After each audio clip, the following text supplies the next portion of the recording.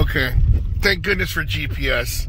So I I overshot the map and then they go, oh, turn on the street and I went on this dirt road. And then now I drove back, it's like miles, and this thing I gotta go back to GPS, but this is one of the most nerve wracking things because I am literally in the middle of the desert and then I can't find my road.